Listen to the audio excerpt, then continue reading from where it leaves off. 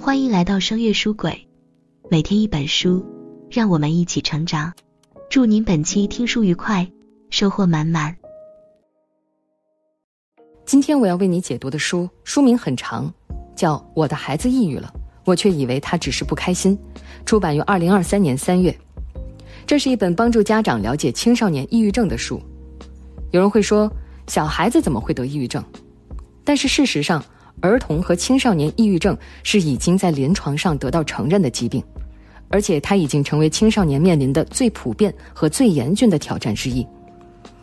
心理健康蓝皮书指出，二零二零年我国青少年的抑郁症检出率已经达到了百分之二十四点六，每十个高中生里就有一人达到了重度抑郁的程度。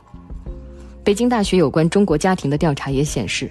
每四个中国家庭里，约有一个家庭的儿童或青少年有患抑郁症的风险。还有很多孩子尚未达到抑郁症的诊断标准，但也已经出现了部分症状，处于亚临床抑郁的状态。如果不积极干预，可能会导致抑郁症发作。这本书的书名可以说生动地表现出了家长的心理。很多家长不了解青少年抑郁症，也不相信孩子是抑郁了，以为孩子只是压力大，有点不开心而已。当孩子被诊断出抑郁症时，家长往往手足无措，一边是父母忧虑的抱怨孩子：“你怎么什么都不和我们说？”一边是孩子很委屈：“我怎么没和你说？你听了吗？”家长不了解孩子年纪轻轻怎么就患上了抑郁症，也不知道该如何帮助孩子。这本书就是一本给家长的指导手册。这本书的作者叫杨毅，他是一位临床心理学家，曾就职于哈佛大学医学院下属医疗中心。现独立职业，曾受邀在哈佛大学、哥伦比亚大学、清华大学、北京十一学校等学校做青少年心理健康方面的演讲。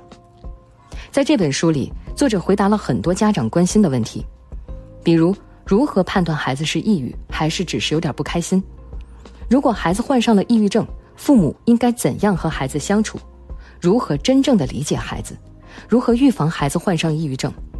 书里给出的这些方法具备通用性。看书名，你可能以为他只是在讲抑郁症，但这本书其实也是在讲育儿思维，告诉父母如何理解孩子的情绪，如何变换角度和立场去教育孩子，怎么养出更快乐的孩子。当然，如果你还没有为人父母，这本书也依然值得一听。在豆瓣上，有一位读者评价说：“看的时候在一点点带入自己和父母的角色，为人子女。”这本书也能让我们回忆自己过去和父母相处的时光，回忆自己当初和父母的沟通中存在的问题，甚至能够更好的理解自己当初曾有过的经历和情绪。那接下来我会分三部分为你解读这本书。在第一部分，我们先回答父母最关心的一些问题，也就是如何判断孩子是否得了抑郁症，以及孩子为什么会得抑郁症。在第二部分。我们来看父母应该如何帮助患抑郁症的孩子。在第三部分，我们再来说说如何预防抑郁症。好，接下来我们就正式进入这本书。我们先来看第一个问题：如何判断孩子是否得了抑郁症？我相信打开这篇听书的你，应该对抑郁症有一定程度的了解。不过，儿童和青少年抑郁症的症状和成年人还不太一样。儿童和青少年的抑郁症在不同年龄段也有不同的特点。在儿童期，也就是六到十二岁的小学阶段，抑郁症的表现是经常无故头疼、肚子疼，会有其他身体不适，过度焦虑、多动，莫名其妙显示出敌意和攻击性言行，喜欢流泪、过度敏感等等。儿童抑郁症之所以会表现出以上症状，主要有两个原因。首先，孩子的年龄尚小，对情绪的识别和表达能力还比较有限。他们不懂什么是抑郁症，也不会对父母直接说“我得抑郁症了”，而是通过身体语言来表达，比如打架、欺负别人，或者告诉父母自己身体不舒服。而他们描述的这种不适，往往是病状模糊、原因不详的。其次，小学是进入学校教育的最初阶段，对孩子来说是一个巨大的变化。如果孩子不适应这种变化的话，就可能会出现抑郁症状。等到了青春期。也就是十二到十九岁的初高中阶段，抑郁症的表现又会发生变化，包括持续不开心、缺少活力、烦躁、易怒、成绩下滑、疏远朋友、难以集中注意力等等。对于青少年来说，他们的抑郁症表现一般是非典型的，虽然抑郁，但有时会反弹。开心的时候看起来很正常，所以容易被他自己和父母忽略，耽误了抑郁症的诊断和治疗。而且，患上抑郁症的青少年在情绪上表现更多的不是悲伤，而是暴躁易怒，这和我们一般的认知有些不一样。当父母看到孩子沮丧悲伤时，比较容易警觉孩子是不是患了抑郁症。但如果孩子是暴躁易怒，动不动发火，父母只会觉得孩子是性格不好，不懂事儿。但是临床经验和研究发现，易怒是青春期抑郁症的一个重要表现。总的来说，如果孩子在生活中出现了以下表现，那么父母就要注意了：在身体上，饮食变得不规律，体重快速上升或下降，睡眠紊乱，精力不足，出现头痛、胃痛等躯体症状。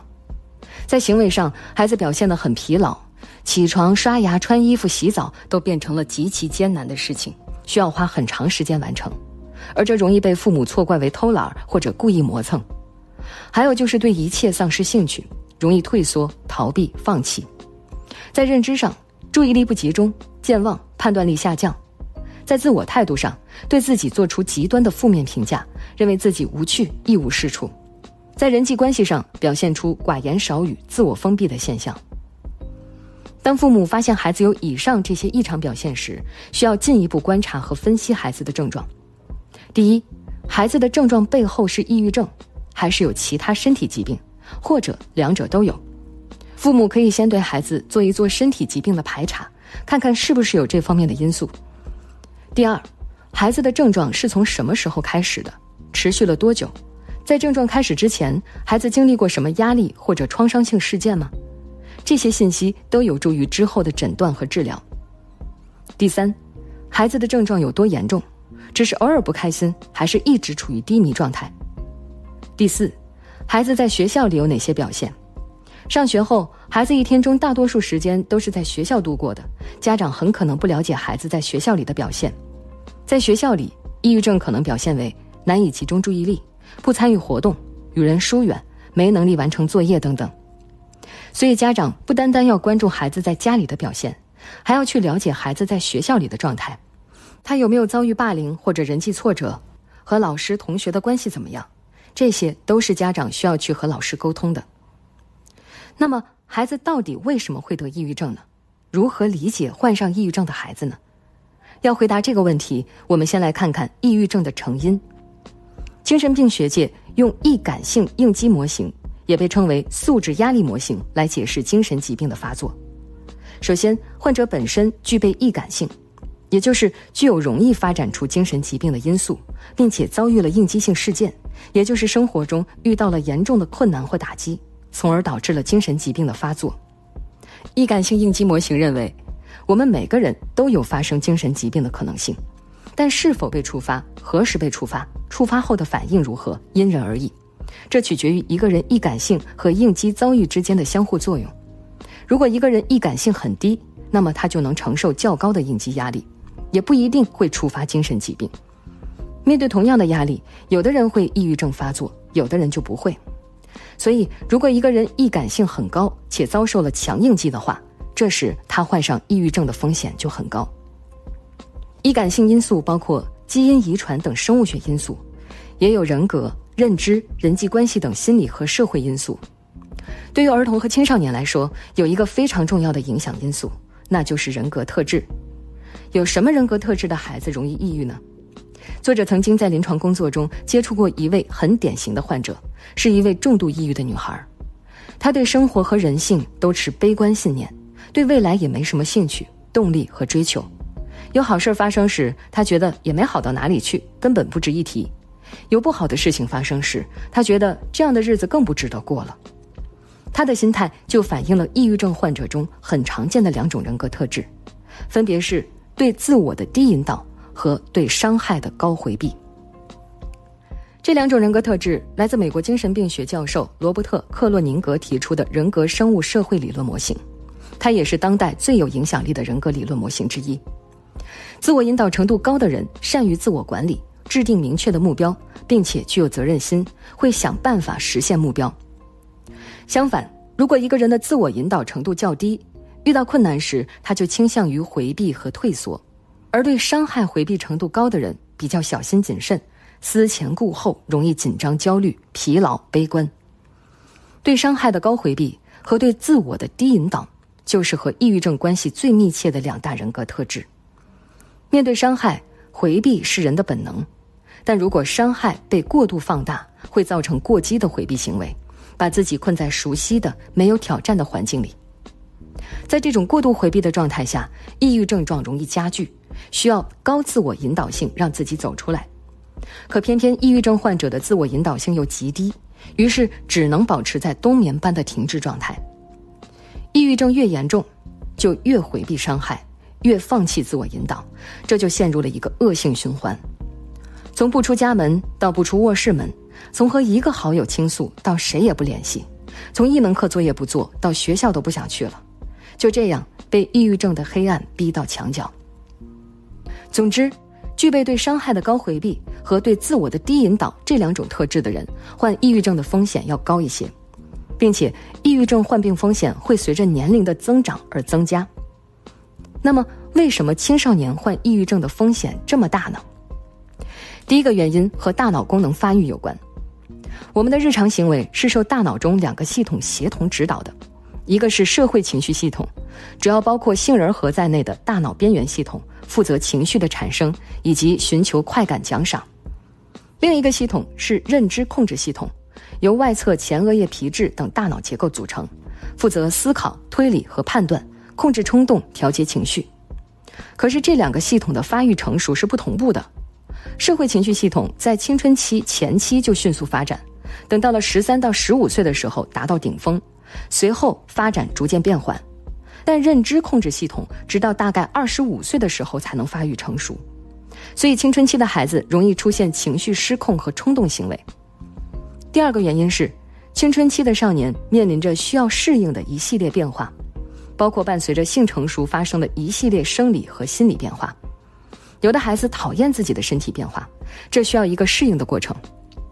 还有一个原因是。青春期的孩子比以往任何时候都关注别人如何看待他们，这种强烈的自我意识容易让他们处于高焦虑的状态，他们的心中充满了矛盾，一方面自认为已经成熟，把他人的管理视为对自我空间的侵犯，但同时他们仍然缺乏完全独立的能力，这就容易导致和父母的冲突，而和父母关系的恶化又会进一步增加患抑郁症的风险。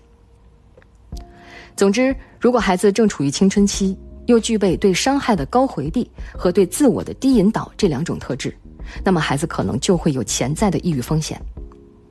不过，除了人格特质以外，作者在临床工作中观察到，大量青少年抑郁症案例都和家庭的教养方式有着密切联系。作者曾接触过一位患有抑郁症的男孩，他十分在意别人对自己的看法，对失败非常敏感，对错误的容忍度极低。通过咨询，作者发现，在这个男孩的成长过程中，他的父母会过度关注孩子的成败，盯着他的毛病不放，尤其是他的父亲，经常会不控制地对他发泄情绪。每次父亲的情绪风暴都把他冲击得瑟瑟发抖。有心理学研究证明，父母的教养方式可以预测孩子日后患抑郁症的风险。澳大利亚精神病学家戈登·帕克曾经编制过一个父母教养方式问卷。他测试的维度有两个，一个是关爱冷漠，还有一个是尊重孩子的自主性和过度保护。研究发现，关爱程度高，同时过度保护程度低，也就是说，既关爱孩子又尊重孩子的自主性，是最有利于孩子心理健康的教养方式。相反，如果关爱程度低，同时对孩子控制欲过强，则容易引发孩子的抑郁症。在这本书里，作者还关注到一个问题，那就是有很多父母会说：“我们明明没有给孩子压力，都是他自己给自己压力的。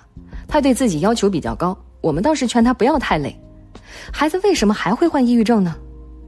不少父母确实是这么想的：为什么孩子明明很优秀了，还会自卑，甚至焦虑或者抑郁到需要去看心理医生？这时候父母也很纳闷。但是据作者观察。与其说家长对孩子没施加压力，不如说是父母没有意识到他们所施加的压力。家长的心里是有一把衡量孩子的尺子的，当孩子在某个方面做得好的时候，父母容易产生一个不准确的印象，觉得自己没有期待。但事实不是这样，父母还是有期待和标准的，只是孩子恰好达到了。没有批评，只是说明通过了审核，不代表没被审核。而孩子其实能感受到这一点。父母对孩子有标准和期待是很正常的。父母需要反思的是，不要对孩子推卸责任，说一些“你要是有压力，可不是我给的”之类的话。这样的话只会损耗孩子对父母的信任和感情。了解了抑郁症的成因，下面我们要聊聊父母应该怎么做，如何帮助患上抑郁症的孩子。首先，如果孩子患抑郁症了，父母需要去思考三件事儿。第一，自己对孩子的抑郁症有什么反应？很多患上抑郁症的孩子其实很难向父母开口，因为父母的反应可能会给孩子带来新的烦恼和压力。比如，作者就观察到，很多父母的反应都是不接受、否认孩子抑郁症的存在，对孩子说：“你不是什么抑郁症，你就是懒，不要胡思乱想。”或者对孩子说：“你就是成天熬夜玩手机，白天没精神，肯定心情不好。”会有这样的反应是可以理解的，但这会让孩子感到不被接纳和不被信任。而这可能会加重病情。父母需要去思考的第二件事是，自己是否总觉得孩子就是懒？事实可能不是孩子单纯太懒，而是得抑郁症了。很多父母都会把孩子的抑郁症看作懒，因为抑郁症和懒确实有很多相似之处。懒是抑郁症的表现之一，在抑郁症状态下的人很被动，经常赖在沙发床上不动，不做事儿，不见人，不说话。这样看起来，人们确实很容易把抑郁症当作懒，但他们两个其实不是一回事儿。一方面，抑郁症还有很多别的症状，包括情绪低落、悲观、焦虑、反应变慢等等；另一方面，也是抑郁症和懒最大的不同，那就是懒是可以主动选择的，而抑郁症不是。没有人主动想做一个不求上进的人。如果父母经常指责孩子懒的话，孩子会一再遭受挫败。并且接受自己不求上进的暗示。如果这个懒的背后是抑郁问题，一味指责是完全没办法帮助到孩子的。父母需要去思考的最后一件事是，自己是否把孩子当做问题本身。如果从孩子有问题的角度来思考，那么父母会不自觉地把孩子当做问题，孩子会感到被针对、被孤立。但是如果从亲子关系有问题的角度来思考的话，那么，父母会侧重于调整自己，改善关系，这样才能更好的帮助到孩子。思考过这三个问题之后，要想帮助孩子，父母还需要去了解抑郁症的相关知识，这是为孩子提供支持的基础。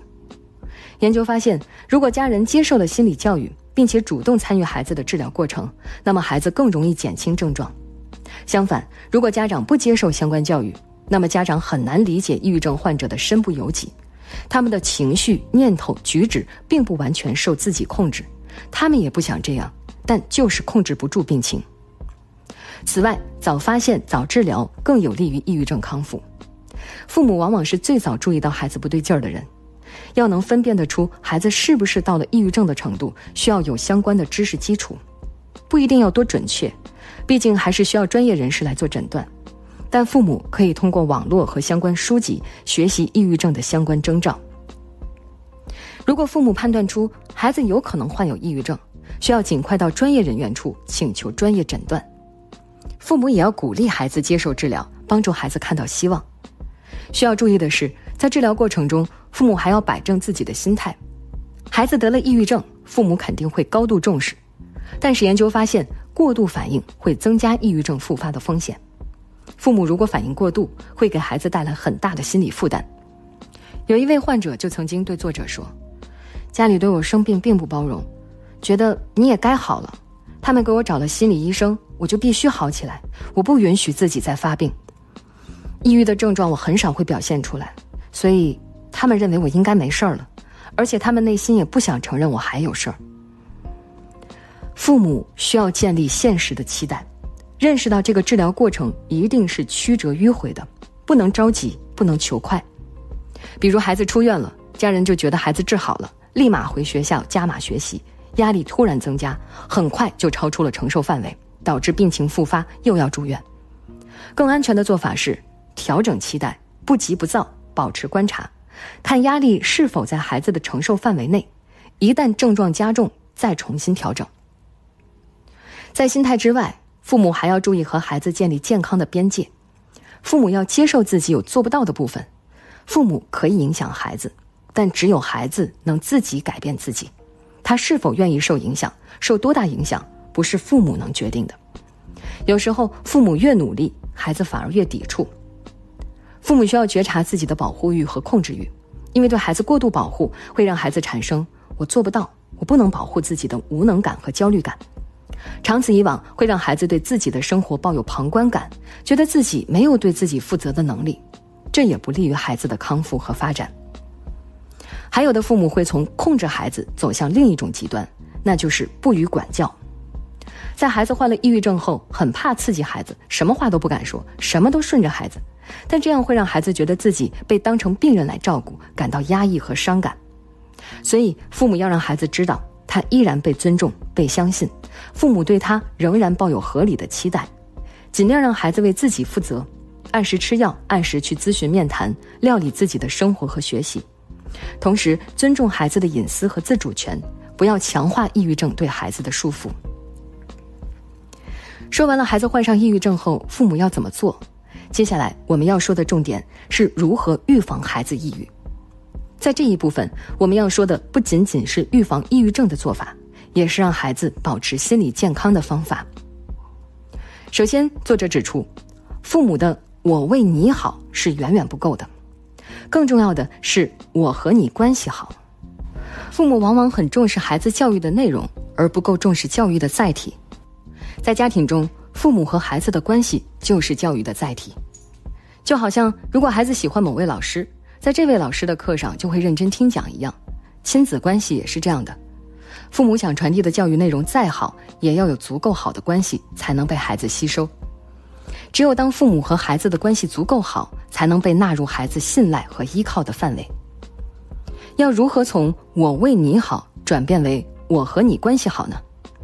举个例子，一个孩子对他的父母抱怨说自己最近腰酸背痛，父母从“我为你好，帮你解决问题”出发。可能会说：“你这是窝在沙发上玩手机玩的。”然后提醒孩子：“你要注意了，不能再这么下去了。”这些话背后都是父母的好意，但孩子听了会觉得是指责，心想：“不管和你说什么，最后都变成我的错。早知道不和你说了。”父母的这些话语之所以效果不好，就是只顾着我为你好，而忽略了我和你关系好。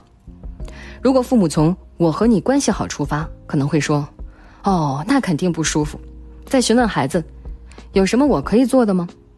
这时，孩子感受到的就不是指责，而是温暖和支持，也许就会主动说：“可能是我做的时间太长了。”或者，父母可以引导孩子，问孩子：“知道是什么原因造成的吗？”如果孩子说不知道，父母可以不失压力的分享一句：“我有时候一个姿势坐久了也会腰酸背痛，但拉伸之后就会好一些。”没有给孩子下结论。也没有强迫孩子改变行为，这时孩子感受到的是被父母的问题和经验启发，而不是压力。和孩子关系好是一切教育的前提。接下来，让孩子保持心理健康的关键是引导孩子塑造稳定且正面的情绪。